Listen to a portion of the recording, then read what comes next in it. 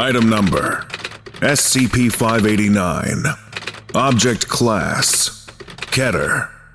Special Containment Procedures SCP 589 must be contained within a sealed, reinforced container that is welded shut. Under no circumstances is SCP 589 to be removed from its container, physically contacted, or even seen. SCP 589 in its container must sit on a scale so that it may be continually weighed to confirm SCP 589's presence.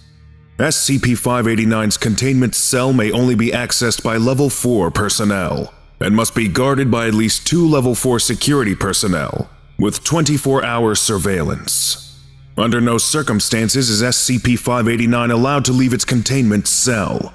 Any personnel attempting unauthorized entry or removal of SCP 589 will be terminated. Should containment be breached, then the entire sector SCP 589 is held in must be immediately purged via demolition charges or incendiary devices. Any personnel assigned to the sector that managed to escape must be questioned and then immediately detained for psychological screening. In the event that SCP 589 must be handled without the protection of the container, the only personnel authorized to handle SCP 589 must be cleared by Foundation psychologists and must have a psionic resistance index of 30 or higher. Once their task is complete, all personnel that have handled SCP 589 must submit to a mandatory psychological screening. Description SCP 589 is a stuffed animal that is able to change its appearance based on the subjective desires of the first person to come in contact with it. SCP-589 has the ability to create a calming, soothing sensation within anybody who sees or comes into physical contact with it. This ability appears to be mimetic, as it is able to spread via copies of itself, as well as pictures depicting its likeness. However, the effectiveness of these copies is directly proportional to the quality of the product. The calming effect SCP-589 imparts is not unlike the use of narcotics as it stimulates the areas of the brain that are responsible for feelings of relief and euphoria, and encourages the production of chemicals and hormones that reduce stress. However, this effect quickly becomes addictive, with infected individuals becoming completely dependent on SCP 589 after extended exposure. Once addicted, an individual's interaction with SCP 589 or any of its copies borders on complete obsession and they are compelled to create more copies of SCP-589 and attempt to spread them. However, what makes SCP-589 dangerous are its after effects. After a certain period of time, SCP-589 will immediately vanish. SCP-589, any of its physical copies, and all versions of it imprinted in electronic media will completely disappear. This sudden and massive disappearance of SCP-589 results in catastrophic consequences for those infected by SCP-589.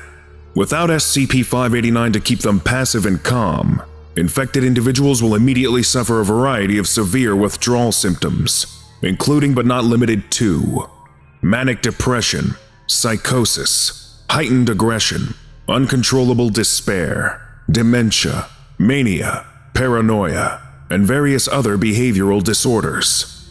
It is not known how or why SCP-589 does this, though there is speculation that SCP-589 feeds off of the mental anguish it causes to those completely obsessed with it.